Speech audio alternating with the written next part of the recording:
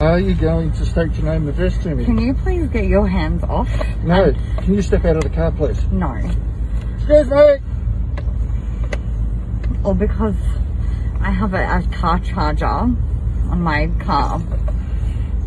They sell them everywhere. I didn't. They sell them at petrol stations. That's not the problem anymore. The problem is you're not stating your name to me. Just because I have a car Can you charger. get out of the car, please? No, I don't feel safe. You're armed. You're safe. Don't you worry about No, about I that. don't feel safe. You're attempting to get into my vehicle. What are you? What are you doing? Why? Excuse me. You're not practicing. What the f- are you doing? What the f- are you doing? Hey. Get off!